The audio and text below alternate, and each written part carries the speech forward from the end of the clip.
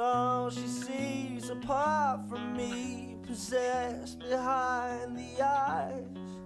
And apart from the frightening, the moaning, the biting, seems to be the night sky. And I know what she